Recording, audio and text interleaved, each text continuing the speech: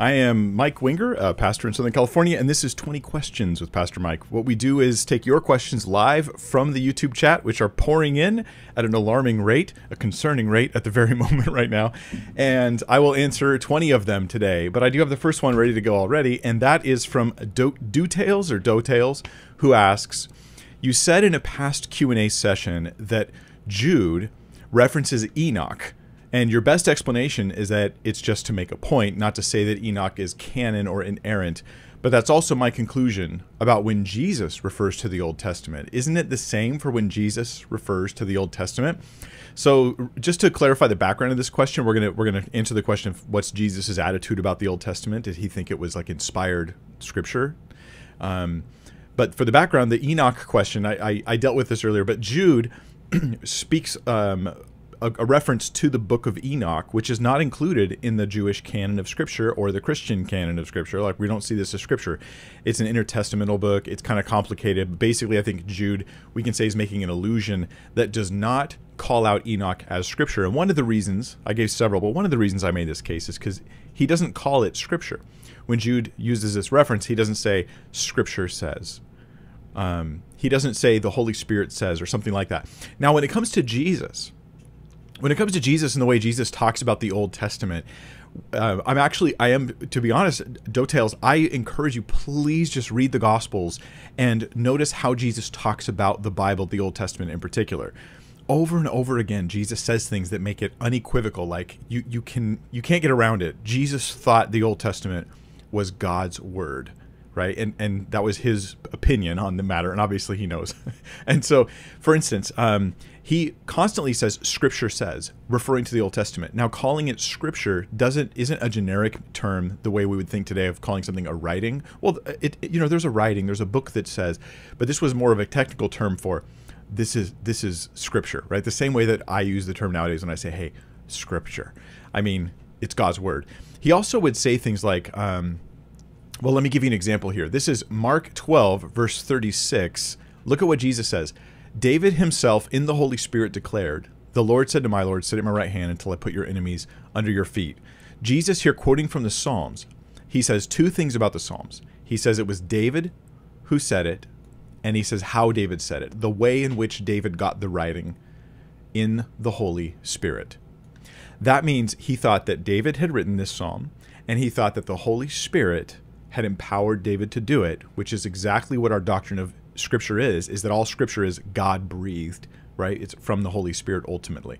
So this is um, a good example of where Jesus definitely had a very high view of the Old Testament scripture. Do you know Jesus quotes from all sections of the Old Testament? He quotes from the the three main sections of the Old Testament. He, he, quotes from the law, from what you would consider nowadays, I would often consider like the ceremonial parts of the law, also the moral parts of the law. Some would argue with those um, expressions, but I think that they're helpful. Um, Jesus, he continually says things like, I'm going to die because the scripture has to be fulfilled. And then he refers to Isaiah and he refers to Daniel and he refers to Psalms right? He constantly appeals to the Bible, the Old Testament, the Jewish Bible, as scripture. Then he says that the Holy Spirit will help his apostles as they communicate his truth, his message to others, and that's how we get our New Testament scripture. So there's the first question. I'm going to uh, encourage you to go back, do tales, read, please do read the tale, read the stories of Jesus, and notice how he refers to scripture as a, from like a pastor standpoint, it's very a different issue to ask, oh my, what's happening in the life of a person who thinks that they believe Jesus, but they don't believe the Old Testament. That's concerning to me, like pastorally, because I, I think that it's an open door for a lot of weird things to happen. Because here's what I've noticed happens once we lower our value of the Word of God, once we lower our estimation of Scripture, what we tend to do, and I mean we, like I've seen it many, many, many times, is we tend to have a gap. There's an authority gap in our life, right? Uh, telling us what it is that we should be holding to as Christians, behavior wise, all these different things. And the minute you lower your view of the Old Testament or the New Testament, what happens is something floods into that gap. And what usually floods into that gap is either modern cultural preferences or personal desires and agendas that might go against the stuff that you're actually reading about in the Bible. So what I'm suggesting is there pastorally here, there's like a there's a temptation moment for you when you lower your appreciation and respect for God's word that you you you fill in the gap with the desires of your heart that could be leading you astray. And so uh, I pray that you would take that very seriously. All right, number two, A and Q says, A and Q. Sorry, that's our new code for anonymous question. If you ever want to ask an anonymous question, put A and Q in front of your question and then write out your question in the comments. Says um, Romans 1 8 through 216, responsibility. I'm afraid to read slash not read the scriptures, so I read slash don't read. Sometimes I feel physically ill, deeply anxious, even empty. Is it normal to feel like this?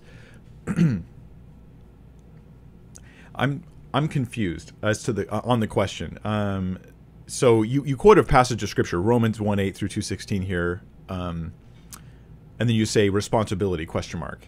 I don't know what I don't know what the question is there. Um, then you said I'm afraid to read slash not read the. Are you, so it sounds like you're afraid to read the Bible and you're afraid to not read the Bible. I think I can understand that. Um, and sometimes you get to the point where you're feeling physically ill, deeply anxious, and even empty. Is it normal to feel like this? Um, about reading and not reading the Bible. Um, okay, let me go to this text. I, I, look, I realize that this might bog down for some of you your enjoyment of this stream a little bit, but I want to help this person. So I'm going to go to Romans 1 and see if I can suss out a better understanding of exactly what it is you're, you're talking about here. Um, he talks about the proclamation of the gospel. I'm just going to be scanning through here, trying to think about it in context of your question. Um, yeah, he's not ashamed of the gospel because it brings God's uh, salvation through faith. Because guess what? God's wrath has already been revealed. We're all already condemned because of our the, the, sins. And those of us who judge others self-righteously we reveal that we know about righteous judgment and we fall short as well. That's romans 2 there. Um, you go through 16 that moves into a next section which is people who sin without the law will perish without the law and all who sin under the law will be judged. Okay th- so the, my best guess here is that maybe and forgive me if i'm wrong. Okay i'm doing my best. Maybe you're thinking i'm afraid that if i read the bible i have a greater accountability and so I want to not read the Bible so I won't have the accountability. Because you say responsibility. And this passage talks about accountability. Uh, here's the problem Romans 1 and 2 here actually seems to go against what you're saying. It suggests that you're going to be accountable whether you read the Bible or not. And um, those who don't read the Word of God, don't understand the Scriptures, have never been exposed to it, they'll be accountable for the revelation God's given them through conscience and nature and whatever the Holy Spirit has done in their lives. And those who've read the Bible have additional revelation, and there is additional condemnation if you reject additional revelation. But here's the problem if I have a Bible and intentionally don't read it in order to avoid condemnation, I'm not, I don't get a, a get out of jail free card now because I have revelation and I'm choosing to ignore it because I don't want to submit to it. Right? So that's not an innocent thing. That's not even who Paul's talking about in Romans uh, 1 and 2 He's not talking about a situation where someone has the Bible and chooses not to read it as a way of avoiding judgment. That is, in other words, what I'm going to suggest is it's understandable, but you're going through some really weird thoughts. And those thoughts need to be filtered by the truth of God's word. And maybe go and meet up with a pastor in your area, or, or it doesn't have to be a pastor, but just some godly person who, who is thoughtful and wise, who will listen to you and help you work through some of these thoughts. My counsel off of what little information I got from question number two is you're feeling physically ill, deeply anxious. You, you, are like afraid to read the Bible, afraid to not read the Bible. You're, you're, you're experiencing a lot of fear. That is not natural. That is not normal. It is not healthy. But I, from the distance of my camera to wherever you are right now, would have a very hard time giving you real, thorough counsel to like dig into your issue and find out is there is this the work of the spirit in your life giving you fear because there's areas you know are in huge rebellion to God or is it the work of fear and condemnation that has no basis in reality, that's barring you from enjoying the grace that you have in Christ? And I don't know the difference because you need to talk to someone who can sit with you. So please, please meet with them. And my my generic answer is if you're living in open rebellion against God, the fear is justified. And if you are trying to seek the Lord and follow God, though you don't do it perfectly, but you are in a lifestyle of seeking God, then you should not be living in that fear. And there are scriptures that validate both of those statements. I think you need the wisdom to be able to discern what your situation is so that you can act appropriately. But the fact that you're frozen by fear proves that your fear is unhelpful and unhealthy right now. And I don't want you to stay in that place. So you need to take action and not be frozen. God give you wisdom, and I hope you seek out some counsel. Um, CDTV has a question. Says, "Thank you for everything you do here. What are your thoughts about Matthew 26, 13? You taught earlier that the specific action is not even recorded in all the Gospels. So what does Jesus mean? Let me go to the passage. Matthew 26, 13. And surprisingly, I have every verse in the Bible memorized except for this one. It's the only one I don't have memorized. Right. Verse 13 says, Truly I say to you, wherever this gospel is proclaimed in the whole world, what she has done will be will also be told in memory of her. Okay. Um, backing up, your, your, thought is let's go to your, your evaluation of the passage. You're going to say, hey, um, this action's not recorded anywhere. Like we never hear in the in the Bible, we don't hear anybody doing telling the story of her. But let me say that there may be some perspective you're missing here. So let me just catch everybody up on what we're reading about. This is Jesus being anointed at Bethany towards the end of his ministry. A woman takes this really expensive ointment and pours it over Jesus, and they complain. And then Jesus is like, "Hey, she anointed me for my burial. Leave her alone." And what she has done is going to be spoken out, spoken about wherever the gospel goes. Now, if I go to the book of Acts, I don't actually read about anybody specifically, you know, it's not like Peter got up in Acts 2 to preach the gospel and he preaches to the people and it's recorded where Peter goes, and there was a woman from Bethany. You know, he doesn't, we don't have that rec- recorded in Acts 2 or in Acts 5 or Acts 15 or Acts anywhere. It's not in the book of Acts. But I think here's where we're missing the forest through the trees. You see, from the very beginning, the gospel has been attached to the testimony of the apostles, and their testimony is ultimately recorded and solidified or permanent, made permanent in the words of Scripture. And, and for 2,000 years, now all over the place, wherever the gospel has gone, so has the New Testament, so has the Old Testament, but in particular, what is what was most early circulated and circulated most frequently are going to be well Paul's letters, but also the four gospels, right? The four gospels: Matthew, Mark, Luke, and John. What I'm saying to you is CDTV. What you might not have noticed is that um, this verse where the gospel went, you you either very early on before the gospels were written, you had the apostles themselves telling the stories, which would have included this. And then when the apostles were leaving the scene and we get the writing of, the writings are, you know, what Justin Martyr called the memoirs of the apostles, interestingly. Um, you have this story being told all over the place. And here here right now, we have hundreds and hundreds of people watching as I've just shared it again there's this woman who did this thing for Jesus and it was great, you know. So you, you may not have realized is that Jesus doesn't say, I will make sure to have you guys record several instances of this story being told in the New Testament. Rather, he keeps the story in the New Testament, and wherever the New Testament goes, so the story goes as well. I think that um, might have missed the, the forest through the trees right there. I hope that helps you. Hope that you find that um, helpful. Wait, I think I mixed something up. I answered number five when I should have answered number three. And then I'm going to answer four as number five. Good luck, Sarah Zimmerman, doing the doing the doing the timestamps later. I did three, four, and five in reverse order. Um, okay. Vinay Oguri says, um, or anyway, you'll figure it out. Vinay Oguri says, when, uh, what was the point of capital punishment in the Old Testament, which was way too harsh to the point that it was not strictly followed back then? How does it display God's love when people are killed for not obeying? Um, so, Vinay, uh, one of the important things I think when we approach these discussions is the person who asks the question often frames the discussion. So there's a lot that your questions always assume things. Every question assumes things. So, like for instance, if I said to my wife, like, uh, "What time are you cooking dinner tonight?" Well, that assumes that she's cooking dinner, right? That doesn't that assume something? There's questions that assume things. Your question assumes several things. Um, capital punishment in the Old Testament was a way too harsh.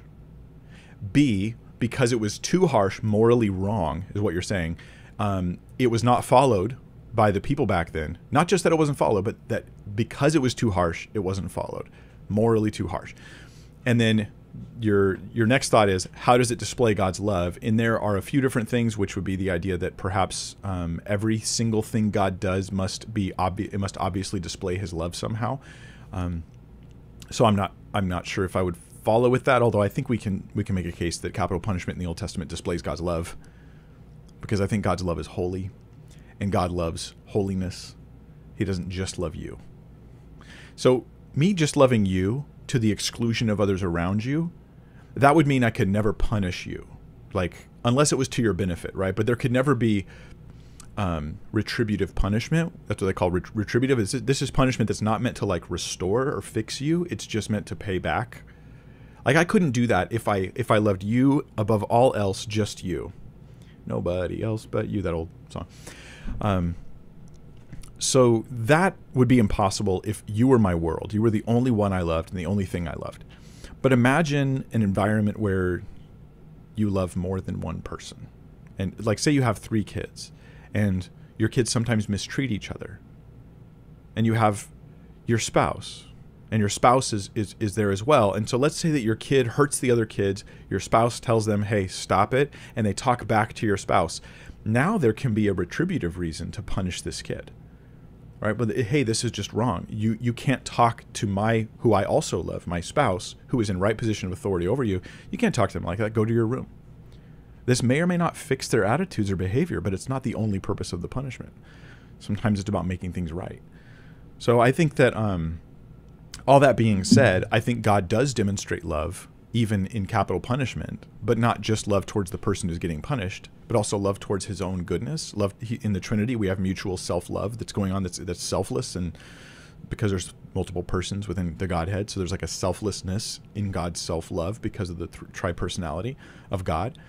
So I, I think that we, we have to acknowledge that too. Um, there are times where a child is punished because he's not the only human in existence. And it's not always to, to make him act better, although you hope it does. So capital punishment can be for that purpose. You also said it was morally too harsh. I actually don't think that that's the case. Um, I know this totally kicks against the major, maybe the majority of my audience right now. Let me just suggest this. Um, proper justice always seems too harsh to criminals. This is pretty much always the case, at least the majority of the time. Most criminals will complain that the justice system is too harsh on them, no matter how soft it is, because those who are on the receiving end of punishment have a lot of motivation to say the punishment shouldn't have been given to them. And we, being sinners, deserving God's wrath, we have a natural inclination to turn to look at God's wrath and say, you know, I don't think I deserve all that. I think that's way too mean. That's way too harsh. That's way too strong. But if you stop for a second and you look at it not from the perspective of humans, but from the perspective of a holy, righteous, perfect God, God is perfectly holy in every conceivable way, both in his actions and in his motives. He's completely holy. And we are so messed up like Jesus himself calls calls us like evil. Like when he's talking in the Sermon on the Mount, he says, um, you know, you being evil, you still give good gifts to your children. Now I want you to stop for a second and think. Jesus is evaluating humankind how exactly? He's like, come on. He's like taking for granted, like, come on, you guys being evil, you still give good things to your children. You still give good gifts to your children. How much more your heavenly Father wants to give you good things? Um, this perception from the biblical perspective that mankind is a lot worse than we often will admit, that's an important doctrine in Christianity. You know, if I put it clumsily, I would say like people are way worse than they think they are. That's an important doctrine biblically. People are far worse morally than they think they are. So when it comes to the assumptions, I have to push back on that and say, I, I don't grant your assumption in your question. When your question says, um, capital punishment in the Old Testament was way too harsh, I think capital punishment in the Old Testament might be the thing that's helping reveal how wicked mankind is. And this this is this is what the old the scripture does with the Old Testament. How does the New Testament tell us the function of the Old Testament?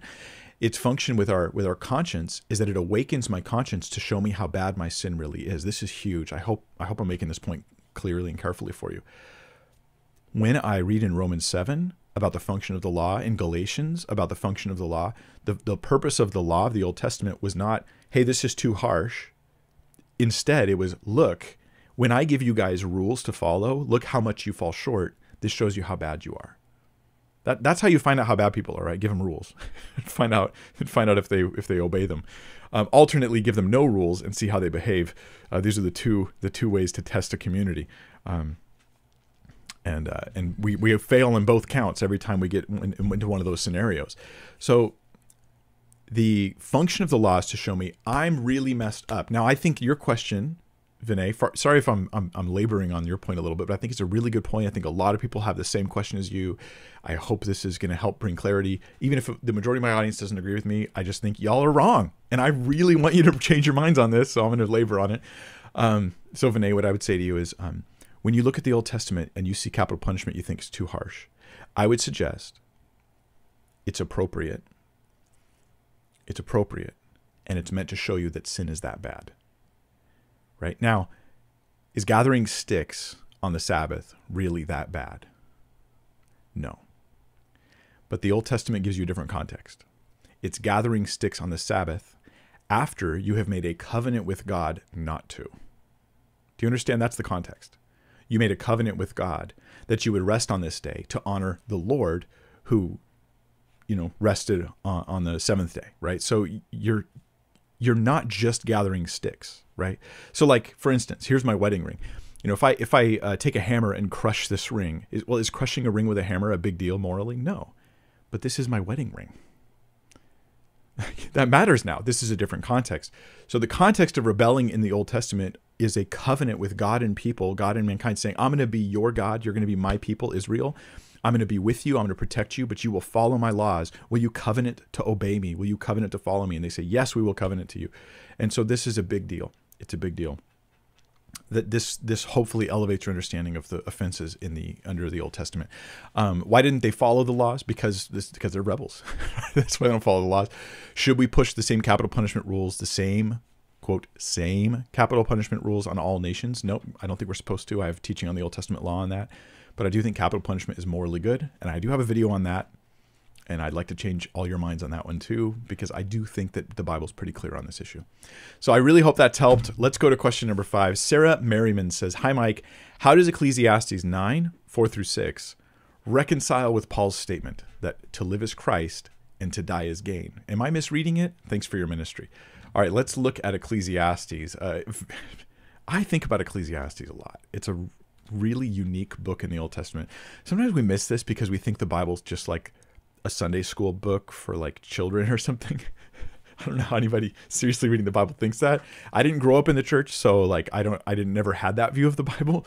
But um but there's some some very varied types of books in the Old Testament. Ecclesiastes is really unique. There's nothing like it anywhere else in the Bible.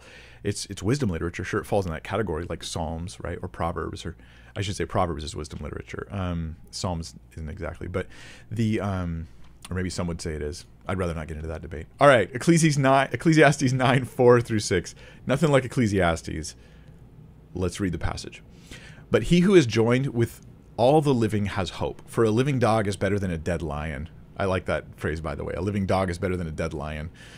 Um, people who go for greatness at the cost of their own existence made a mistake. For the living know that they will die, but the dead know nothing, and they have no more reward, for the memory of them is forgotten. Their love and their hate and their envy have already perished, and forever they have no more share in all that is done under the sun. Okay, um, so two things for context with Ecclesiastes. I think Ecclesiastes uses the phrase under the sun. Maybe I could be wrong. My understanding of Ecclesiastes, under the sun, to mean effectively in a godless universe, in a universe apart from God, without considering God, if I look at the world and and evaluate it in that context, under the sun. I think it tends to use the phrase in the in that context, which is why Ecclesiastes will say things that seem contradictory, right? Like the dead know nothing, they have no reward. They have no reward. There's no future for them. The memory of them's forgotten. Their love and their hate and their envy have perished. All these things. But when you get to Ecclesiastes 12, the end of the book, um, look at his counsel. He says, "Remember also your Creator in the days of your youth, before the evil days come, um, and the years draw near, in which you will say, I have no pleasure in them." He's like, "Serve God while you're young." and you have the energy for it. Um, and uh, before you're, you're old and the, and the hard times come.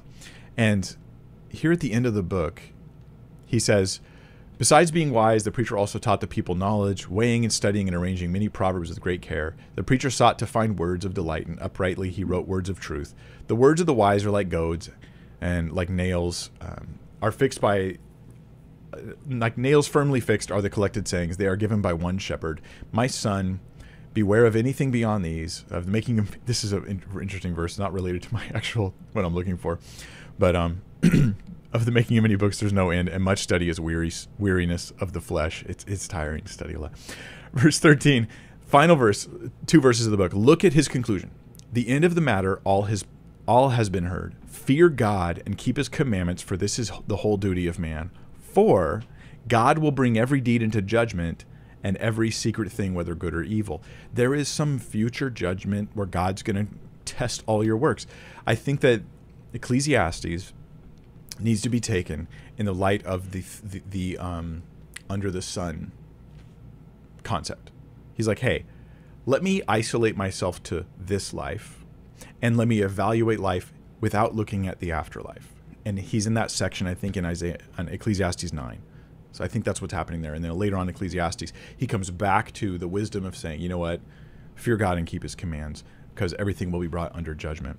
So I think that. Um, um, that that might help answer your question. Now, Paul's statement to live as Christ and die as gain is coupled with other things that Paul says, where he's suggesting that when he dies, he's going to be right in the presence of God, and that's how I take it. Not everybody would agree there, but that's how I take it. I do think that's the right understanding of it. Um, the uh, yeah, I think I think the best way to understand Ecclesiastes there is just that is like, yeah, Paul's talking about what actually happens. Ecclesiastes is doing a thought exercise, which concludes with bringing us back to the reality of God and judgment. All right, number six. Walker Thompson says, I have a good understanding of God's love and forgiveness in my head, but I have trouble living as though I believe it in my heart, and I still feel condemned at times. 1 John 4, 16 through 18. Any advice? Um, the advice partly is, I think, in that verse you just referenced.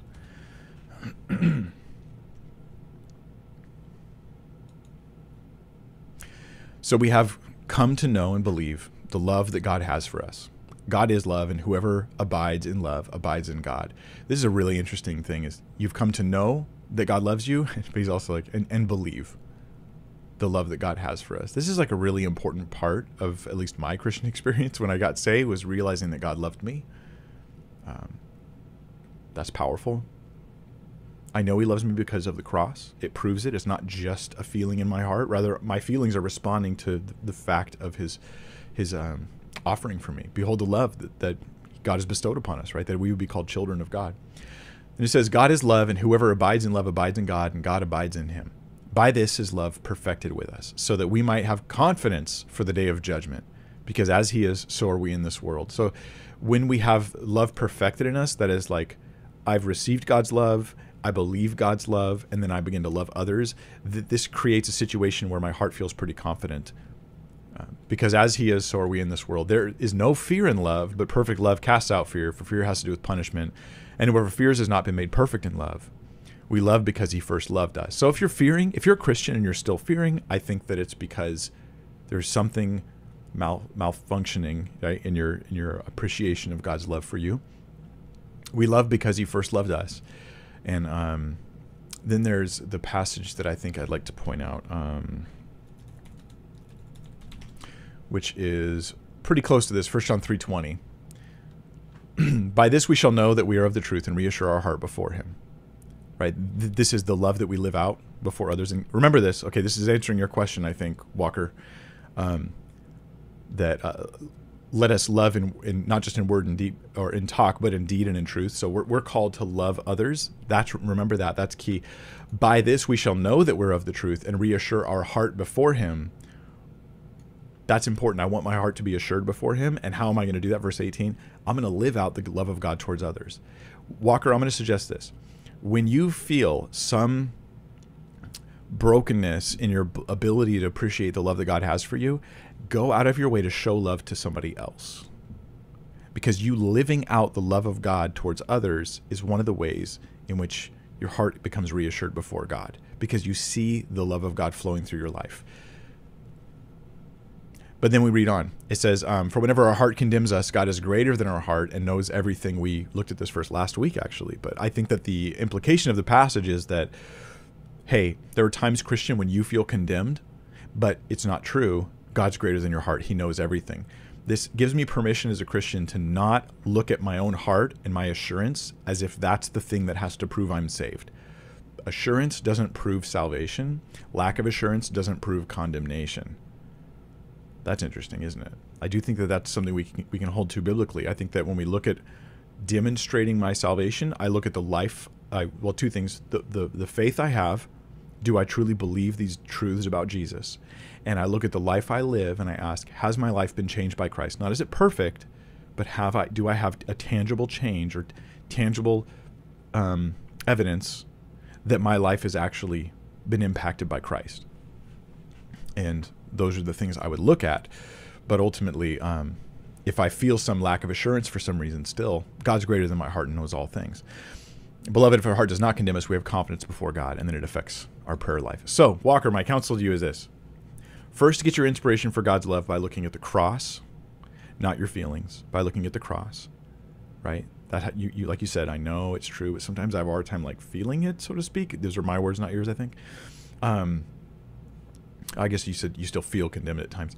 Um, so you get it from the cross. You look at your life and you say, Has my life actually been Im- impacted and changed? Not am I perfectly holy, but I'm like, No, like I see it in my life. Like I've, I've got the work of the Holy Spirit happening in my life. Um, then you should not feel condemned. And if you continue to point point yourself towards serving and loving others and see if that has an impact on you. But do not stop prayer do not stop reading the word. Don't be crippled in engaging with God on a spiritual level. Just say, my heart's funky. There's um, sometimes married couples go through this. I, have experienced uh, hearing about this where someone gets married and after they're married, they struggle and struggle and struggle to believe that their spouse actually loves them. Now, it's totally true that the spouse loves them, but they don't feel like their spouse loves them. And there's a point at which you have to say, well, I'm sorry you feel that way, but you're going to have to live like you know it until your feelings come around the corner. And that would be my encouragement on this as well. I hope it helps. Jill G has a question says, What is your opinion on Paul's thorn? I heard it was his eyes, maybe from his encounter on the road to Damascus. He had Luke, a doctor, with him during his travels, and he had others write his letters. So I'm not totally settled on the question of what Paul's thorn in the flesh was. Uh, personally, I I'm inclined to think that it had a physical ailment connected to it. But um, sometimes we, we we suggest like either it was a physical ailment or it was it was something demonic, right? And I'm not sure that if we should make it an either or scenario there. It could have been both. I mean, Satan was definitely attacking Job, and that was definitely physical right? So there was it wasn't like an either or thing. So let's look at what Paul writes on this. Um, so to keep me from being conceited, becoming conceited because of the surpassing greatness of the revelations, a thorn was given me in the flesh. Now that's the phrase he's given. A thorn in the flesh. It's also called a messenger of Satan to harass me, to keep me from becoming conceited. Three times I pleaded with the Lord about this, that it should leave me. Notice the terminology. He calls it an it, not a he. Right?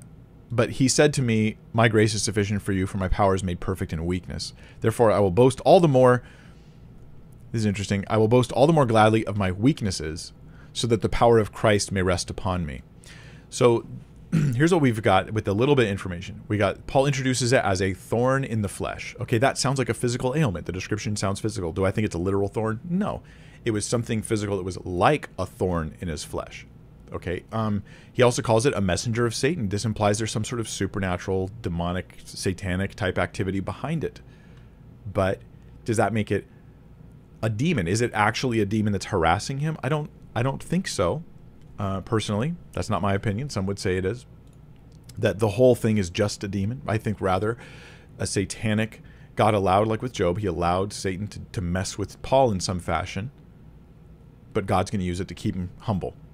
he pleads with God that it should leave me. Well, the leaving me part probably refers to this the way he introduced it, the thorn in the flesh, which sounds again like a physical thing.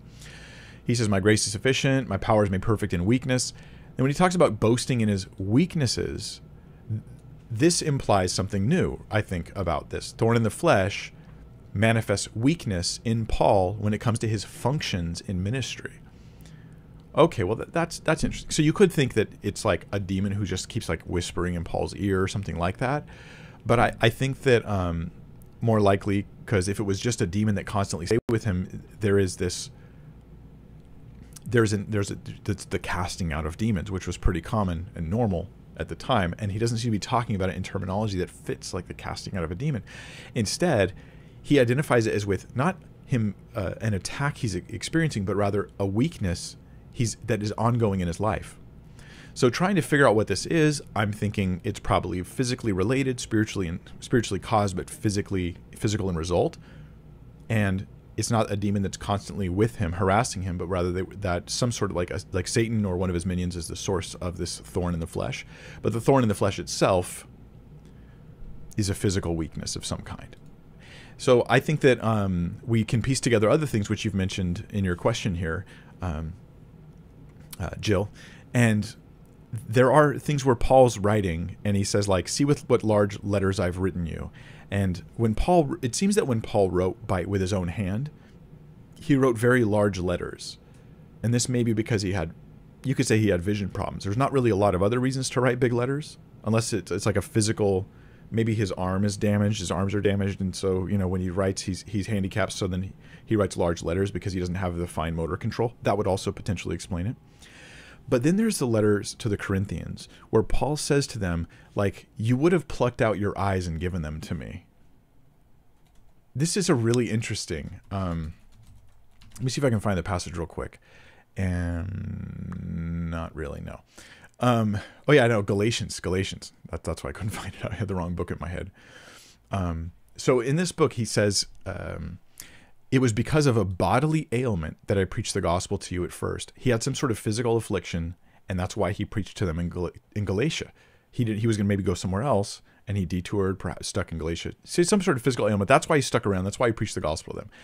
And though my condition was a trial to you, you did not scorn or despise me, but receive me as an angel of God in Christ Jesus. Now, it's natural to assume that Paul, whose handkerchief would heal people, when he had a physical ailment, would appeal to Jesus for healing but God doesn't heal him. There's some prolonged period of time, and it, and it causes him to preach in weakness. Okay, this sounds a lot like the thorn in the flesh, doesn't it? So at least it fits it well. Um, then um, he says, What then has become of your blessedness? For I testify to you that if possible, you would have gouged out your eyes and given them to me. Now, the only motive I can think for them to gouge their eyes out and give them to Paul, because this is not a horror movie, it is instead that feeling when you have a loved one who's suffering physically and you think to yourself, if only I could take their place. Right? If, if only I could give them my back to, to, to be strong for them instead of theirs. If I could give them my eyes so they wouldn't have the suffering that they've got, I would do it. This seems to say I had a bodily ailment that was pretty significant and affected my eyes a lot. And he had it for a, for a um, significant period of time. And Paul, in another place, refers to the thorn in his flesh. This is probably the same thing. So I, am thinking that um, the bodily ailment has something to do with his eyes. This this could mean just poor vision. Okay, that's possible, but it could also mean other things. There's all kinds of weird eye diseases and stuff like that you can get. Um, it would be a trial to you. His condition would be a trial to them, um, that potentially could have caused them to scorn and despise him. Okay, well, that's not just you're having bad vision, like you got, you know, you're nearsighted or something. Rather, this seems to be like there's something visual that's disgusting to people. Okay, so there's one tradition that says Paul had running, his eyes were running and stuff like that. Combine this with when he writes to them, he writes with large letters and all that. So I'm thinking that the trial, the, the, this physical ailment, um, was probably the thorn in the flesh, what we read about in Galatians. All right, let's look. Oh, by the way, some are not going to like this, and part of the reason they don't like it is because they believe God would never allow such a thing. Um, I think that that's a thoroughly unbiblical view. I think God uses suffering for His glory and for our good all the time, and that if you don't hold that view, you're going to be very. It's going to bring you a lot of challenges and problems, and you're going to cause problems for others. because you're going to respond to their suffering not with grace and kindness, right, but with um, promises that aren't true and weird behaviors. you guys know what I'm talking about. All right. Jonathan Question says, uh, or Jonathan has a question. I guess he put question. Maybe his name's question. Only Jonathan knows. All right. Hey, Pastor Mike, from Galatians 5, what does it mean to walk in the Spirit? And do you have any pastoral advice for a new disciple on this subject? Thanks. All right. Okay. This is like, let me just acknowledge big question, beautiful question, wonderful question. Don't think that my little answer here gives you the full scope of what this means to walk in the Spirit, but let's look at some of what is said here so that we can hopefully understand it a little bit better or at least be reminded of some of the truths about it. Okay. Um, Jonathan. Paul says, um, I say, okay, well, let's talk about what he says not to do. okay. Um, he says, uh, I'll start at verse 13. Um, for you are called to freedom, brothers, only do not use your freedom as an opportunity for the flesh, but through love serve one another um, freedom from the law, freedom from the policies, all the rules and stuff like that, and especially the ceremonial type stuff in the law. But he's like, but don't use your freedom. A lot of people who are very into liberty as Christians, their freedoms they have, like, don't judge me, I can do that, I have liberty. They're, the, the, the danger they have is not um, the, the legalism side. The danger they have is going to be that they will be using their freedom as an opportunity for the flesh, is that what, what was a genuine freedom becomes a sinful carnal bondage. Um, so he says, through love, serve one another. So he points us towards how can I help and serve and bless others? Not just what freedoms do I have, but what are they for? They're for the service of others, and that changes things. For the whole law is fulfilled in one word you shall love your neighbor as yourself, pointing outwards towards others. But if you bite and devour one another, watch out that you're not consumed by one another. But I say, walk by the Spirit. Or some, some translations, walk in the Spirit. And you will not gratify the desires of the flesh. This is Paul's formula for how to not sin. That's kind of how I see this, Jonathan. Paul's like, hey, walk by the Spirit and you won't gratify the desires of the flesh. And then Paul makes very clear that the that Christians you're going to have um, desires or inclinations towards bad things and good things. And he assigns the source of those to the flesh and the spirit. And when he says flesh, he doesn't just mean physical body. That's a mistake a lot of people make because we never use the term flesh outside the Bible in normal culture to refer to what Paul's talking about. So you got to take Paul's use. He's not just talking about your physical body. Your your your, finger isn't isn't wicked in that sense, um, but the flesh represents all the bad desires I have. And he goes, walk by the Spirit. He's talking about good desires, positive desires. Uh, but these positive desires are not just part of the human nature, like conscience or awareness of right and wrong. It's rather a result of salvation. So, you, so a human who's not saved will still have conscience. They'll still have awareness of conviction of sin and all those sorts of things. But the Christian has something in addition to that the Spirit in us, the Holy Spirit in us. And He's pulling us towards the will of God and the love of other people. And we're also pulled by the flesh. So this is the battle you and I face between the Spirit and the flesh. I have every day the flesh, every day the Spirit. And I want to die to the flesh. I want to deny the flesh. I want to walk in the Spirit, and I, I don't want to grieve the Holy Spirit. So let's read on to look at how he describes what walking in the Spirit, walking by the Spirit looks like. For the desires of the flesh are against the Spirit, and the desires of the Spirit are against the flesh, for these are opposite to each other to keep you from doing the things you want to do. So here's me in the middle, and the, the Spirit has desires, the flesh has desires, and I'm to pick between them, meaning I have a choice right now what kind of life I'm going to live as a Christian walk in the Spirit, walk in the flesh. Verse 18, but if you are led by the Spirit, you are not under the law. Okay, so I, I this goes back to his previous discussion about the law. He's just saying, look, if you're just going to follow the leading of the Holy Spirit towards holiness in your life, you're not under the law. You don't need the law in the same sense in which the Judaizers were trying to put it on the Galatians. They were trying to tell them get circumcised and come under all the 613 commandments and all of the rules. Like he's like that. That's not what you need. You need to walk in the Spirit then you're not under the law. You're going to be in the law of love.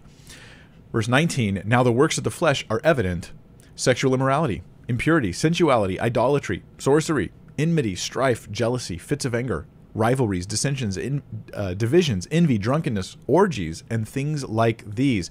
Meaning, yeah, bad stuff, sinful stuff, sinful attitudes, right? Like jealousy, sinful actions, right? Uh, drunkenness, orgies or, or sexual perversions, that sort of thing. So he warns. He goes, I warn you, as I warned you before, that those who do such things will not inherit the kingdom of God. Like you're, a, it's it's interesting the, the the tough challenge that we get with with the writing here, and I struggle with it all the time. Is this question of, okay, I'm I'm I'm a Christian. I have the flesh still pulling on me, according to Paul. This is why you don't do the things you want. But he implies in verse 21 if you are just living that lifestyle, if you're just in the flesh and that's just how you live all the time, I'm telling you, like people who live like this don't inherit God's kingdom. And it's kind of like a vague, almost threat, like, hey, maybe you're not really a Christian. Is is that's how I take it. Um, and I think it's a warning for those who are living a very carnal lifestyle. And I say this carefully. Maybe you are not really a Christian. And that's why he warns them people who live this way don't inherit God's kingdom, guys. Like that's the it's a warning thrown out there. I feel that even the authors of the of the uh, of the New Testament looked at some people and weren't sure if they were saved or not. They were like, "Look, if you were living this way, I would know you're a Christian." Over here, you're living really bad. You claim you're a Christian. It's like I'm in doubt. I don't know about you, and that's kind of my perspective on some people as well. Verse 22, but the fruit of the Spirit. Now let's talk about walking in the Spirit. This is what it looks like. Walking in the Spirit doesn't mean that like I wake up and I, I hear the Lord tell me like, Mike, turn, open your Bible, turn it to Job 4, verse 3. And I read Job 4, 3. And someone, I know one of you are looking it up right now to see if that means something special. I don't know. I just picked up random numbers. But, um, but it's, you know, and then I go to work and I'm on my way to work and I stop to get gas and the Holy Spirit tells me, like, talk to this person right now. Tell them this for me. Tell them that for me. And some think that's walking in the Spirit. I don't think that's Paul's. I'm not, okay. I'm not saying the Holy Spirit won't do that. I'm not saying God would never tell you go talk to this person. What I'm saying is that when Paul uses the term walk in the Spirit, that's not what he's talking about. He's talking about this. The fruit of the Spirit is love, joy, peace, patience, kindness, goodness, faithfulness, gentleness, self control. Against such things there is no law. So, um, walking in the Spirit looks this way you you you walk in love. You experience the joy of of the salvation you have in Christ. You have peace. Right? Not peace in the sense of like I'm settled with a decision. Like it's not about decision making in this passage. Decision making is important, but that's not what this is about. This is peace like I'm at peace with God and I'm extending peace towards everyone I can be at peace with, like Romans says, live peaceably with any with any everybody as much as it depends on you. Like that's peace. Patience towards others, kindness, goodness, faithfulness, gentleness, self control, all this kind of thing. Um, that's a fruit of the Spirit in your life. So, living godly with godly attitudes and godly actions, that's walking in the Spirit. Yeah. I hope that helps. All right, number nine.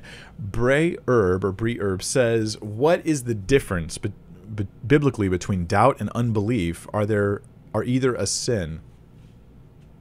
Um, I'm not sure that they're perfectly in these categories. Um, like unbelief, to me, it's like they overlap. Okay, there seems like there's some overlap between the two.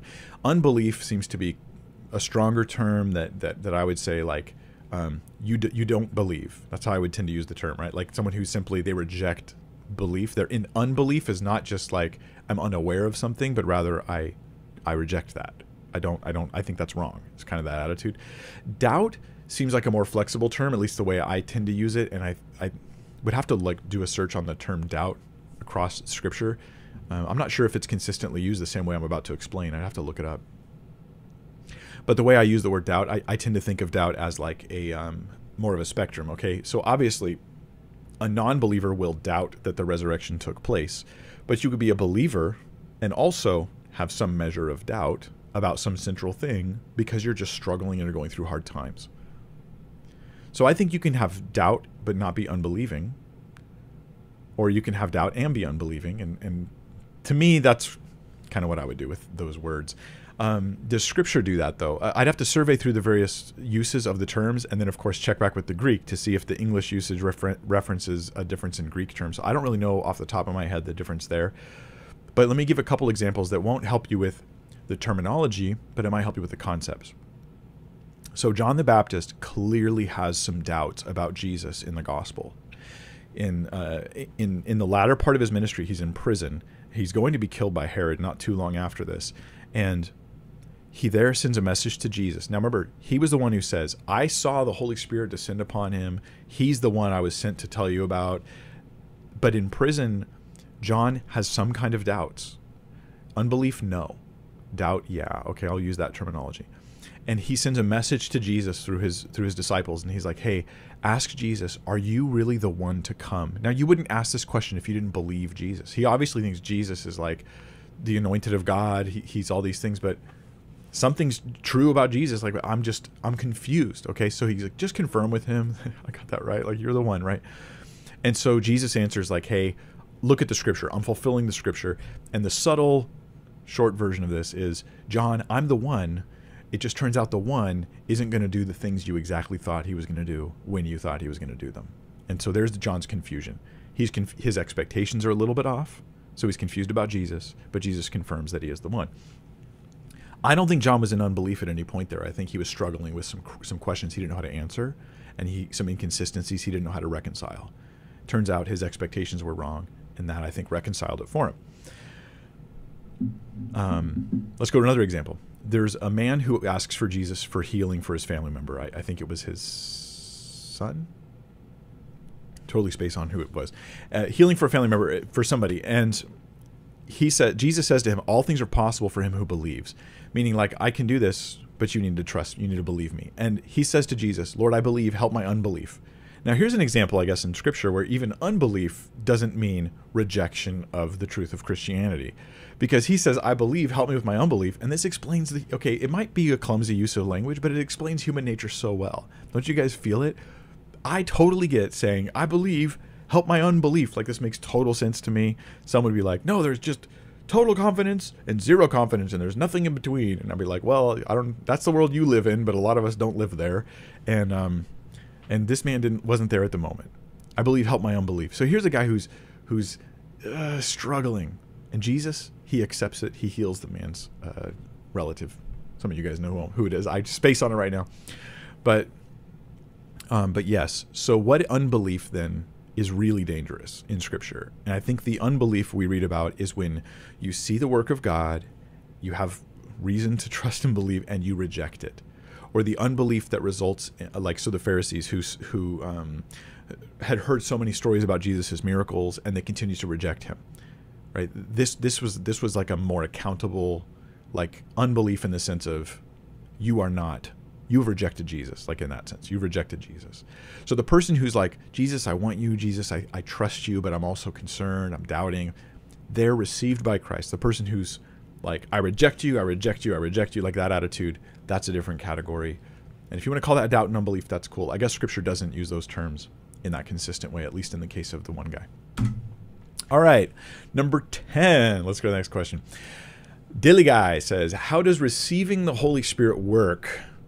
In Acts, there are two times the Holy Spirit's poured out in chapter 2 on Jews and then on Gentiles in chapter 10, but every other time is passed by laying on hands. Acts 8, 14 through 18 and 19:6. Okay, I'm going to grant your description there. I think that's accurate.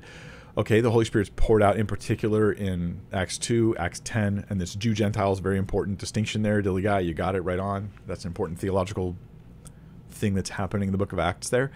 Um, every other time it's passed by the uh, he is passed by the laying on of hands and we read about that um, in Acts as well. So this is why Simon the sorcerer tried to like bribe the disciples.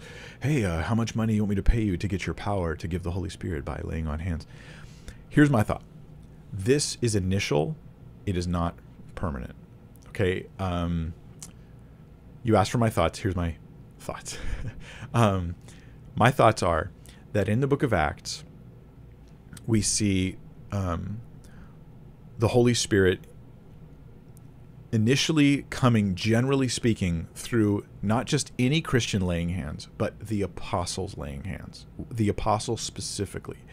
Now, I think this has a really important function in the history of the church. That is, the apostles were the ones who would uh, they would guarantee the doctrines of Christianity were accurately portrayed.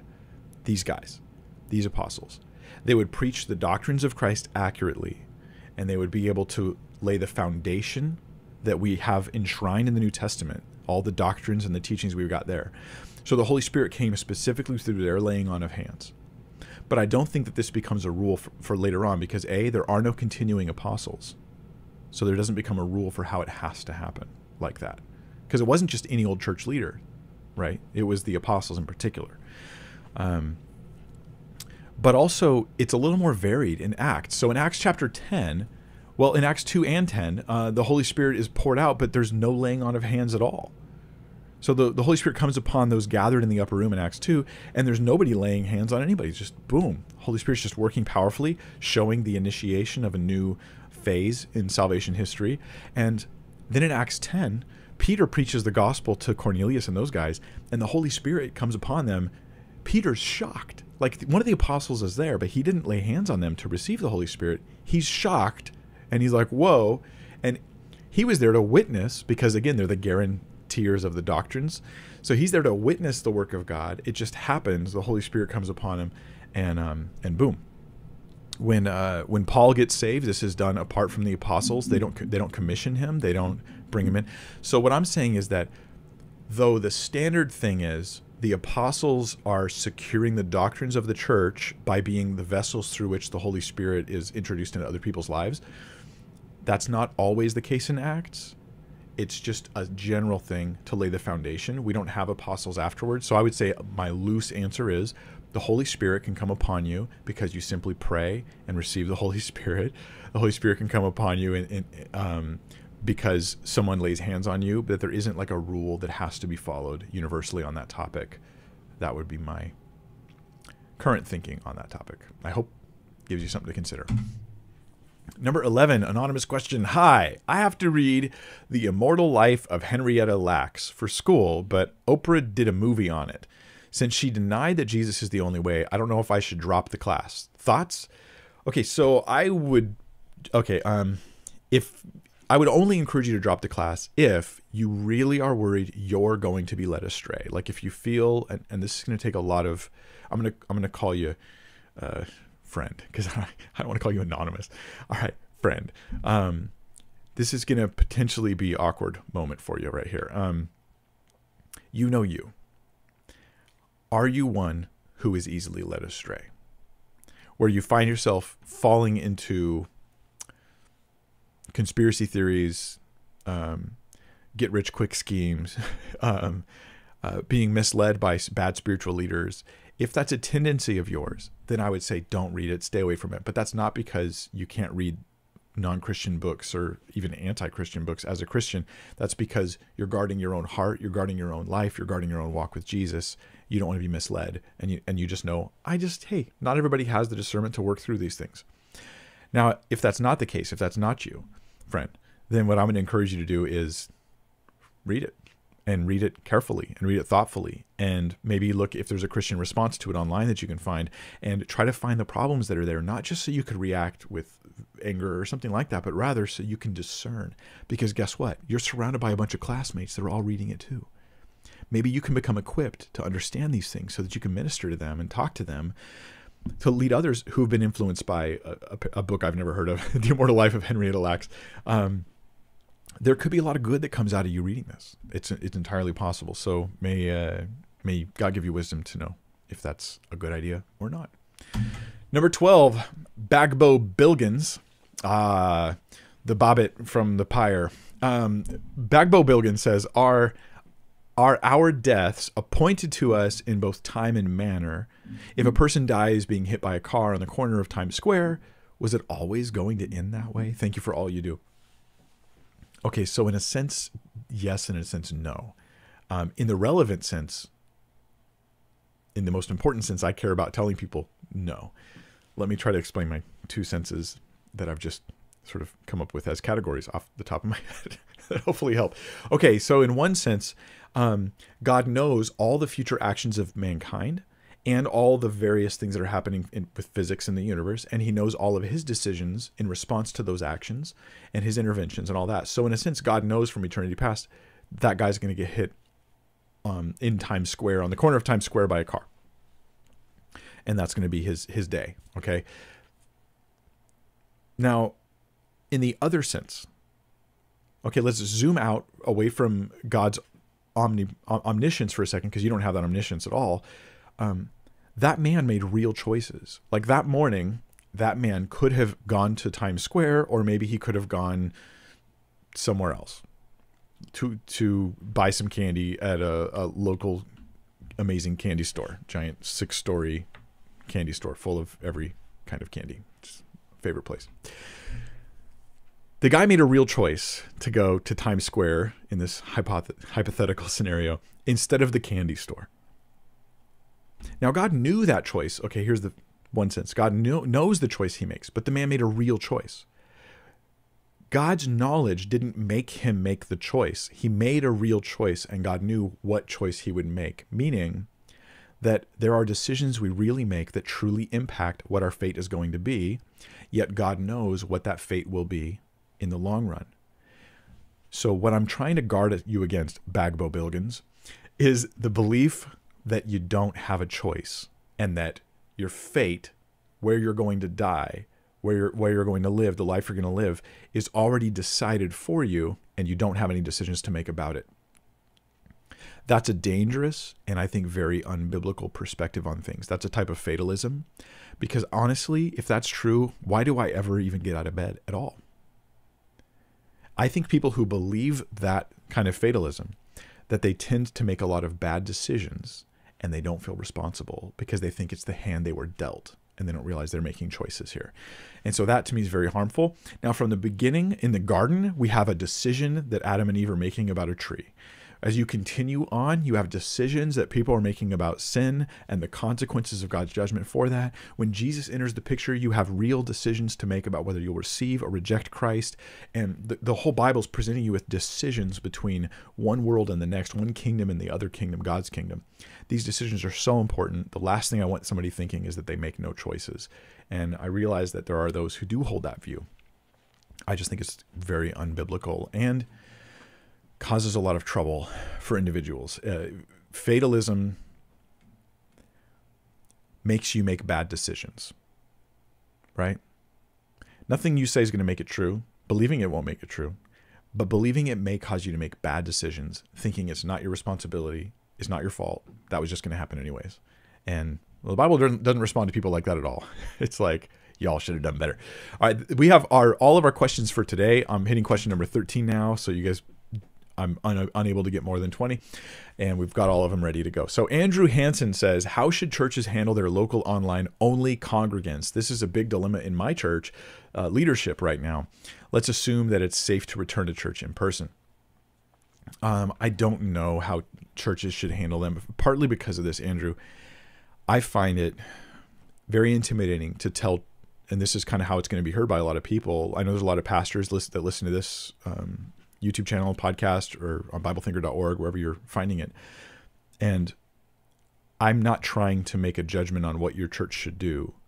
Um, I don't really know the right answer, Andrew, on how all these things ha- are, are to be handled. For instance, there are some churches where the majority, let's just show the complexity of it, where the majority of the congregation are elderly and they're under much greater risk of issues with COVID.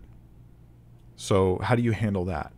You know, my, my own mother has COPD, and I know at least I'm not a doctor, but her doctor tells her that if she gets COVID, she will probably die. That's kind of a big deal.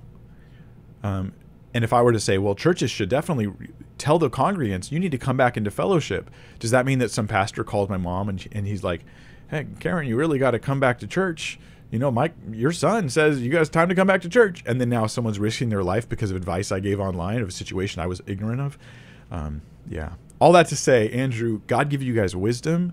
Um, I I think that we need to be slow and thoughtful and careful on these things, and that sweeping answers that we try to put like a blanket over every church in America while not considering their unique situations are unhelpful and create division in the body because it just creates judgment over everybody. As soon as you meet a church that's not doing what your blanket answer is, now you're judging them for it, and I don't feel the right to to do that. So uh, God give us wisdom. Cayman says, What is the day of the Lord? Um, that's actually something I've, I've looked into, and um, specifically the phrase "the day of the Lord" in Scripture. And one of the assignments we had back when I was in the school ministry was um, define the word "day of the Lord" as it's used in the Bible. And so I came up with some possible definitions of the word "the day of the Lord," and then in you know to to test the and here's a good thing to test your definitions, you look at its usage in different contexts to see if you're defining it properly. In other words, you take your definition, and wherever you see the phrase "day of the Lord," you plug in your definition and you ask if that sentence makes any sense now. And here's what I discovered: the day of the Lord is not one time in the Bible. The day of the Lord is a term that's used to talk about some things that have already happened and some things that will happen in the future there is like in a sense a great day of the lord. We're talking about like the time around the second coming of christ where there's great judgment. But then there's also after i'm premillennial so after the millennial reign there's something else that you could refer to as the day of the lord right? When that's when there is final judgment not just judgment coming locally on the earth but final judgment like where our eternal our eternal homes are um, we enter.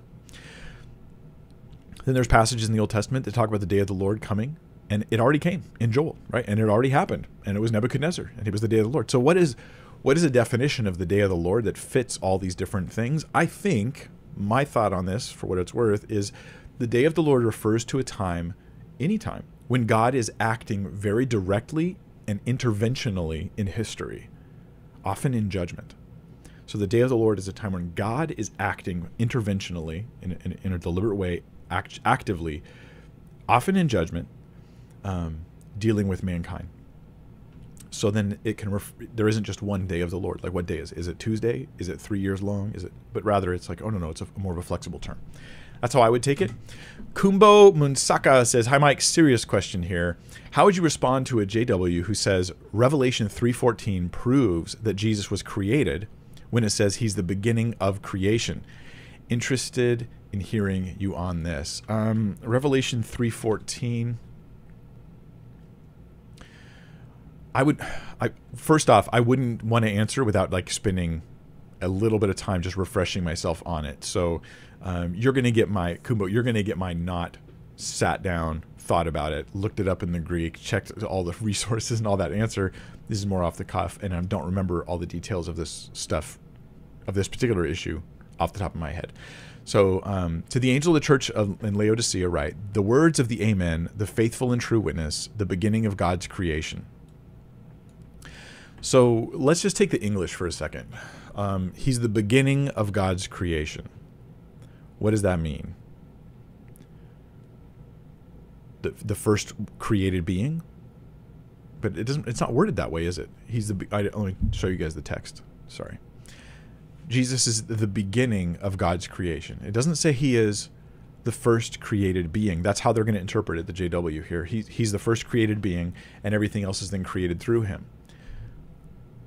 But where does it say that now if Jesus was created, like if you can establish in other scriptures that Jesus was created, then I can understand how you might interpret this to be, well, the beginning, then he was the first created. It's because there's something about Jesus that he is the beginning of the creation of God. Except when you go to other passages in scripture that talks about Jesus' role in creation, like John 1, right? He's the in the beginning with God, right? He the word was God, he, so he's with God. He is God. He, this is the plurality of persons in God. And all things were made through him. Everything was made through him.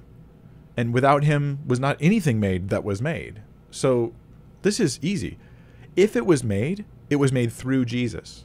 Now, if Jesus doesn't exist, can Jesus be made through Jesus? No, that's irrational, right? Everything that was made was made through him, meaning he has to exist for the creation of everything else to happen through him. And there's nothing that it, that that was made, created, right? That wasn't made through him. So he already exists and then everything that was created. So how is he the beginning of God's creation? Because he's the agent through which God creates. That would be how I'd interpret the Revelation passage. The, that's consistent with I think the wording that's there. He is the beginning of God's creation. There's also other places in Scripture where Jesus is called like the Alpha and the Omega. So the beginning and the end, titles of deity are used in the book of Revelation for Jesus. And so we're, we're not getting um, any reason to think that he was created there. Um, I think it's just a strange phrase, the beginning of God's creation, and without more context, it might seem flexible. Maybe the JW is like, I could use this. But when you look at the rest of what Scripture says about Jesus, um, Colossians is, 1 is another example Um, he himself was not made. And so he's the beginning of God's creation because he's the agent of creation. He's the one through whom creation is made. So creation begins through him, with him. Um, all right, let's go to number 16. Rachel Anderson says, How do you recommend bringing up apologetics with unbelieving friends? Thank you for your teaching. You've helped me grow. I'm very happy to hear that, Rachel. Um, here's what I recommend is um, I would try to start by asking them questions. So this is, can be tough, you know, um, because what I want to know is this: I, I've had enough apologetics conversations with people to realize, Rachel, that sometimes you can go on proving things to them that have no impact on them whatsoever because they don't care if those things are true. So I'm going to find out what they care about first. So if if if it's if I prove the Bible was inspired, would that matter to my friend? If I prove that Jesus resurrected from the dead, would that matter to my friend? Like one guy I talked to, he didn't care about any of that stuff. I did a bunch of apologetics with him, and then at the end of it all, he was like, "Look, Mike, I just want to like be a good dad, and I want to just like live my life. You know, I don't really want to worry about all this stuff." The more I proved to him that it was true, the more he realized he didn't care about any of that. He just doesn't want it to interfere with the life he's living. And so I pushed on him a different way. I, you know, hopefully in a nice or helpful way, a friendly way even if it wasn't nice. I was like, how are you being a good dad if you aren't raising your daughters to know the truth about God and know the truth about eternal life? And that may have given him more to think about than all the apologetics I did. So I'm going to suggest, Rachel, that you try to determine what they care about. And that's only going to happen with questions. So, what's your opinion of, of, of God? Or, like, um, what keeps you from being a Christian? Maybe that's a good example. Like, what keeps you from being a Christian? Oh, well, um, it's too strict. I don't really like the strictness of it all. Oh, oh really? That's like it. I, I, thought it was. I, I had to prove the Bible's inspired or something. Like, you might want to find out what's going on with them. Now, maybe they go, well, the Bible's full of contradictions. And then I want to ask them, if I was to show you it's not, how would that impact you? Like, I want to know if there's stakes. There's something that's going on here try to use wisdom to find what they care about, what matters to them. And if nothing matters to them, then your task is to make something matter. And your first apologetics task is to make it matter. Then you can build your case. You know, if they don't care about whether God exists or not, make them care. What would be the implications of there being no God? So, like William Lane Craig has a video, a teaching he does on this about like the absurdity of life without God. And I think that's a very helpful video in raising the awareness of people that it matters that God exists so like he doesn't even make the case for God there. He talks about the absurdity of life without God. This is where apologetics comes down to like I don't just want to answer questions, I want to help people see the light. And I pray that God gives you wisdom, Rachel. Find out what they care about. If they don't care, you want to stir up care. And that's a different task than proving the truth of something. It's showing why it matters. Uh, so those are my thoughts. Number 17, Ben Kirchhofer says, How should I respond to the attitude of so and so is moral without a belief in God, therefore they are better than someone who needs religion to be good. Okay, I love this. Okay, remember how we talked about questions sometimes have assumptions? Um, sometimes, I mean, statements are the same way, they can have assumptions. So I'm going to read the statement again, and I want to talk about the, the assumption. And Ben, this is what I would encourage you to try to undermine is the assumption. So the claim is so and so, let's say his name is Bob, all right? Bob is a moral person without belief in God. Therefore, Bob's better than you because you need religion to be good. Okay, so religion becomes a a a, a, um, a supplement for immoral people to make them moral, but people who are good they don't need religion. This implies a couple things. One, that that um, the reason we need religion is to is to make us conduct our behavior well. Okay, but that's generally not what Christianity is trying to teach. Right? So we don't believe, and Christians, if you're thinking this, I, I hope that you'll reconsider. Because Scripture refutes this, deli- point, pointedly refutes this in Romans. The idea that that we um, have moral beliefs because the Bible gives us moral beliefs, like otherwise I wouldn't even know what right and wrong was. That is not a Christian view at all. Romans 1, it says that that the laws written on our hearts, or Romans uh, chapter 2, the, the laws written on our hearts, that we have this awareness of right and wrong because God has given it to us as humans. Humans naturally have awareness of right and wrong. And it even implies that, that some people do good things and some people do bad things and their conscience is bearing witness with them that they did something good or something bad. So the Bible doesn't suggest that everyone who doesn't have religion or believe in God or walk in God that they're always doing immoral things all the time. This is not a biblical thing. And so I'm not going to defend that. Right? So so and so's a moral person without belief in God. Therefore they're better than you. Okay, well they can be better than me all they want in your opinion. But you're acting like I need religion in order to do anything good. I just need religion to, to do the the most good or the best good. That's one thing I, I would need Christian religion for, right? Because I want to love God and know God, and I can't do that without God. Okay, so you can't know God and serve God and worship God. Those are goods. You can't do that without God. So there's an, there's an example, but there's a, there's a subtle problem here. Is I am not primarily trying to bring religion into your life as a moral reformer for your behavior. I'm primarily trying to bring you the truth about the universe we live in that there's a God and He loves you, that you've sinned, that there's judgment and hell if you reject and rebel against Him, but that Jesus died on the cross, taking your sin upon Himself, dying in your place, rose again from the dead, historically, factually supportable, so that you can put your faith and trust in Him and then it comes down to you having a relationship with Him through faith. That God Himself will enter your life and change you, not just make you a better person for the sake of society. That is a side effect that generally happens. Now, let me push back even more on the so and so's moral without belief in God, so they're better than you. Um, it's not as though if I rejected Jesus, I would be completely immoral in every way, but I would be less moral because I wouldn't love God because as a husband, I wouldn't show the same patience towards my wife. There are times where I would be a worse husband if it wasn't for Christ in my life. Not only because of the work of the Holy Spirit in me, but also simply because of the fact that I will look at my wife and think, Lord, you're calling me to love her, even if I don't feel like it all the time. You're calling me to be kind to her and patient with her and not to speak to her that way. I mean, in all the years of marriage, I've never called my wife a name a bad name. I call her all sorts of names, but, but I mean like a bad name. I've never called her a bad name. That would not be the case if it wasn't for my Christian faith. I'm sure that at least there would have been some name calling in there. Okay. So Christianity makes me a better person. And the way Ben, the way this question's worded, they want to take a value of Christianity that it does generally make you into a more more moral, not from non-moral to moral, but a, a better moral person and they want to act like this is a bad thing, like a bad feature. Oh, this proves that Christianity is only for those bad people. But I think it's just uh, rhetoric. All right, number 18, Leah Carner says, What is a Christian's role to speak truth on cultural issues to non Christian society? Just preach good news and individual hearts get changed? It seems preaching and homosexual against homosexuality hardens hearts. Um, let me uh, tackle this one like a bull in a china shop.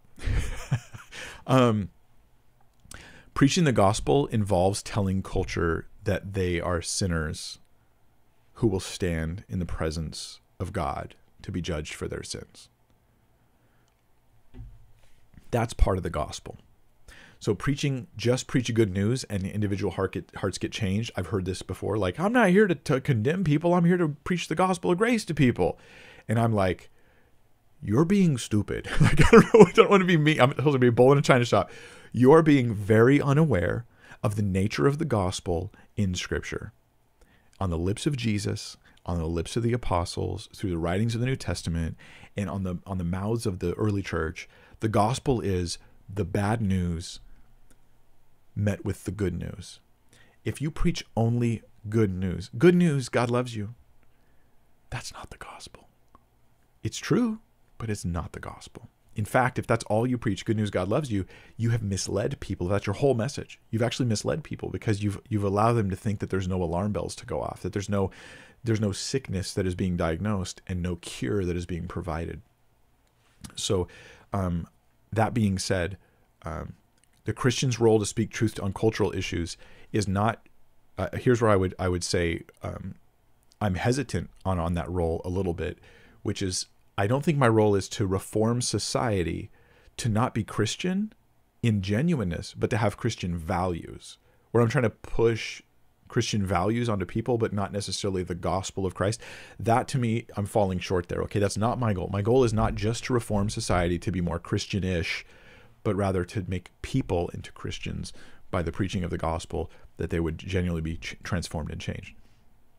So, those who would um, try to make the world a better place in ways that resemble Christianity but aren't uniquely Christian is is is insufficient to be called the gospel. That sort of social fixing is insufficient. It's not enough. But you also said this, Leah. You said um, it seems preaching against homosexuality hardens hearts, and um, it definitely does. Okay, look, I can tell you, I've had people where I'm, I'm like, they're like, "Were you a Christian?" I was like, "Yeah." Well, uh, what do you think about homosexuality? Like first question out of their mouth, and I know as soon as I answer this, they're gonna hate me. and it doesn't matter how gracious I am or how thoughtful I am. It's like, oh, hatred is the next response to this. Um, but here's my encouragement to you. And again, I'm going to be an intentional bull in a china shop here. Preaching against homosexuality hardens hearts because people are sinful and they don't want to face it. The the primary issue here. There's other issues going on. Sometimes people are jerks and they're rude in the way they present things. I get that. Jesus hardened hearts all the time. He even talks about it. He talks about how he's going to preach to them and they're going to become hard because of their own wickedness. What I'm going to suggest is that I don't want to be conf- okay. I, I want to avoid confusion when I preach against homosexuality people think, they genuinely think, this is the weird confusion of our culture, that I'm actually talking about certain people um, are born, they're born gay and they're condemned for being born gay. And that is not what I'm saying at all. I think uh, I'm trying to say, and this is what people miss, and they miss it on purpose. They don't care that you're clarifying as a Christian. This is how I know the hardness is, is a spiritual issue and not just an intellectual problem, because I'll explain this and it doesn't make a lick of difference with the people who it should matter to. But um, but the difference is that Christians are not saying you have an identity that you're born with that we condemn. No, we're saying you have a behavior that's ongoing that you need to stop. That's the preaching against homosexuality and adultery and fornication and looking at pornography and stealing and cheating on your taxes and lying um, and being selfish and being arrogant and being being rude. like that's a preaching against all the sins of mankind. And what we can't do is ignore that because people are going to get mad about it. And if I, you know, this is a spiritual issue, when you offer the clarity you're, you're offering and they're still mad at you the same, then you know. But my example here is Jesus. Jesus does this. He preaches and people get more angry. Remember, he, he's in Nazareth he doesn't do too many signs there. He reads from the the Gospel of Luke. He tells them like this scripture is fulfilled in your presence, and the people are like, "Who is this Jesus? We know Jesus. He's nothing special, right?" That's kind of their response.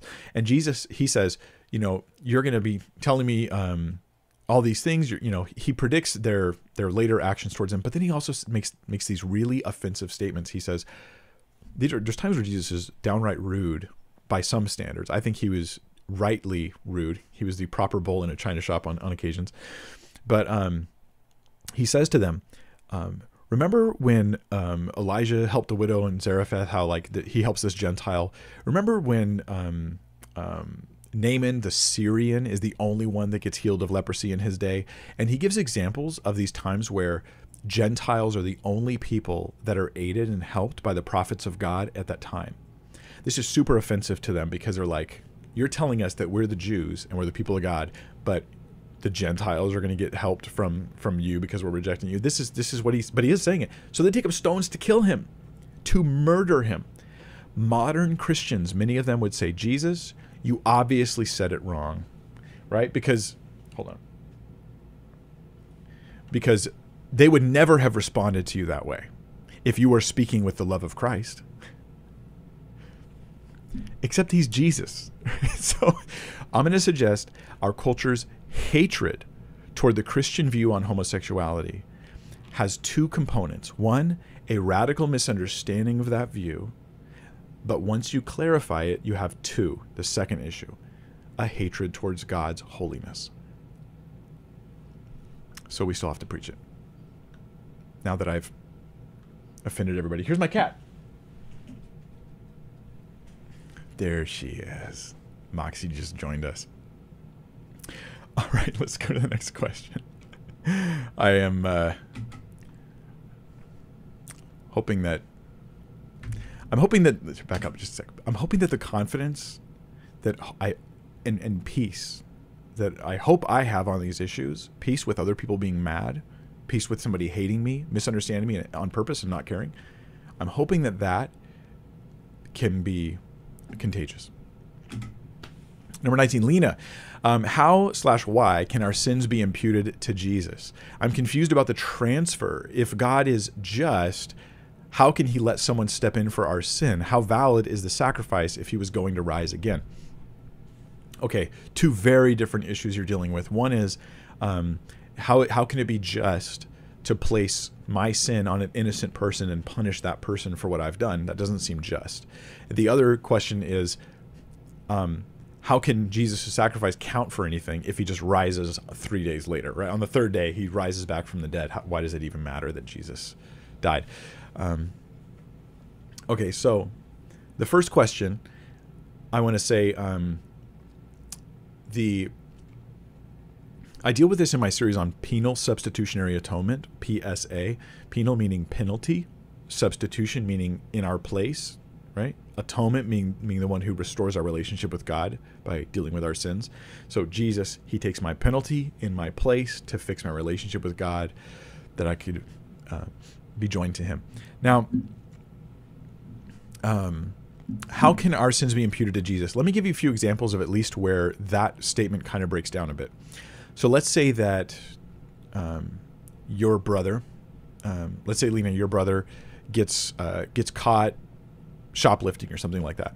And there's a $3,000 fine that he has to pay as a result. I don't really know what fines are for shoplifting. I never get caught. So he um, he gets caught $3,000 fine and you come and you pay it in his place. So you make the payment for it. How is that just? You're the one suffering for what he did wrong. Like it's coming from your bank account, not his. You paid it, but the court accepted that. Why is that? I mean, on a strict perspective from your view here, that question, it would seem like it was in, it was unjust for you to pay for somebody else what they did wrong. Okay, well you might say, but that but that's different. That's money. That's not like say going to prison or jail or or having physical suffering as a result of what they did. And I'll be like, well, how different really is it? Like the three thousand dollars may have taken you four months of saving to be able to get, may have taken you a year of savings to be able to get. It seems like that was a lot of labor and work, sweat, right? Sacrifices, maybe, you know. Um, you sacrifice something else, your new car. Now you're walking to work because you paid that debt. So it seems like there, the, the line's more blurry there than people realize. But let me add more to this, which is um, the the role of representation in justice. So we have laws, even on our books, where an employer can be can be punished for something their employee did on the job. And this can happen. This actually can happen even if the employer wasn't aware of what the employee did, even if the it was against the rules for the employee to do. Right? He's not aware of it. He can still be punished because there's a sense of responsibility in which the authority has for the underling, even when the underling is doing something against what the authority said. Right? An example this could be your kids. You know, you, you take your kids to the park, you tell them play nice with the other kids, and the other kids are all being having fun or whatever, and your kids are mean to them, and then you go to the parents and you're like, "I'm sorry," and the parents look at you and they're like, and you're like, "I told them not to, but I'm still going to take some responsibility for this, um, even if it's not, you know, something I deserve." I think that Jesus, there's an element of this with Jesus. Jesus pays for for us. Okay, that that can be said. Um, he pays for my on my behalf as as the authority the one who is the creator of all things, he can claim responsibility for the things we've done, even though it was not his fault. Right? He just takes it upon himself because he has a role in authority.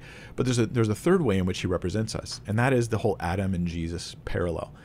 Jesus is like Adam. Adam in the garden represents all of mankind, and he eats and we and, and we all fall. And Jesus in the cross represents all of mankind, and we we enjoy the the fruit of it once we trust in Christ. But he stands there to represent us. He's like, I'm going to be the one who represents all of you. I will go on your behalf. I will I will stand and I will take it all on my shoulders. He also is willing. And this is different. He's not like a little child. And, and a lot of times atheists will push against the cross as if, and, and, and some progressive Christians like, um, um, what's his name? I forget his name. Brian Zahnd. That's it. Um, they'll act like Jesus is like a little baby, like a like a two year old toddler or something like that, and he's like a toddler's going to the cross and screaming and crying, and and everyone's dumping ju- judgment on him. Jesus isn't like that. Jesus is born for the purpose of representing mankind. He lives a perfect and sinless life, and then he voluntarily goes to the cross to represent all of us as our representative. So our sins are placed upon him to accomplish that justice. And when we trust in him, we identify with Christ and we partake of the benefits of that sacrifice. I think it all makes sense. I explain it in a lot more detail with actually a lot more references and quotes and support in my series on penal substitutionary atonement and then you can find the link to that on the playlist on my um, website, BibleThinker.org. Uh, there's a whole playlist of videos there, or on my YouTube channel. Playlists are a little hard to find on YouTube, so we I recommend going to the BibleThinker.org website for that. Now you said, how is it valid if he's going to rise again the next the three days, you know, the third day on Sunday?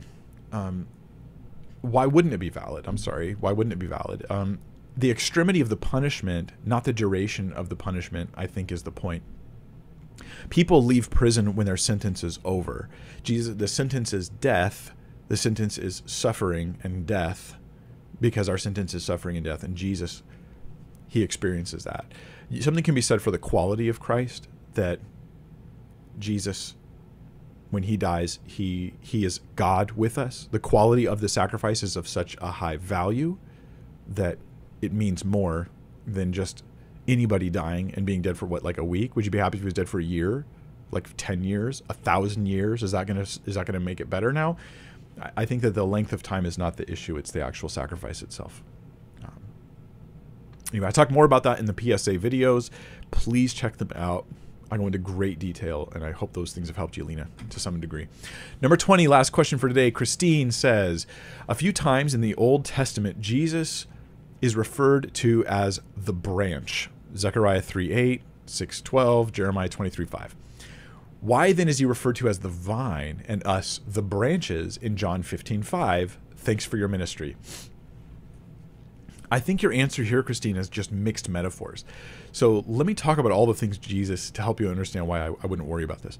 All the things Jesus is um, referred to as the lion of the tribe of Judah, right? The, the bronze serpent that was lifted up, He's referred to as the rock that was struck, that Moses struck. He's referred to as the branch. He's referred to as the vine. He's referred to as the lamb that was slain. As the the lion and the lamb. Is he a lion or a lamb? Which is it? And the, the point is that these are all metaphors for different things. So he's a branch in the scripture. He's a branch, meaning he's he's um, one who grows up out of the descendants of Israel and Jacob and Judah. So he's he's he's the he carries those promises and becomes the fulfillment of those promises that come through Israel, and and uh, that's the branch connection that's there. Um, the implication also in those passages, I think, is that there's going to be uh, there's a transfer of it's kind of a neat thing to and don't have time to get into, it, but there's a transfer, it seems, of responsibility of all of Israel and what they were all to do, fulfilling and obeying the law and all that and to become a light to the Gentiles, and how that transfers all to the branch.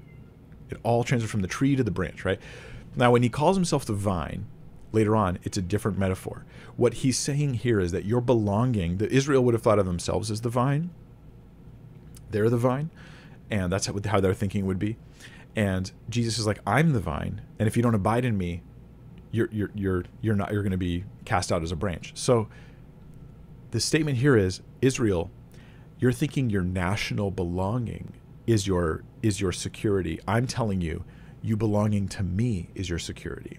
It's not enough that you just are a descendant of Israel.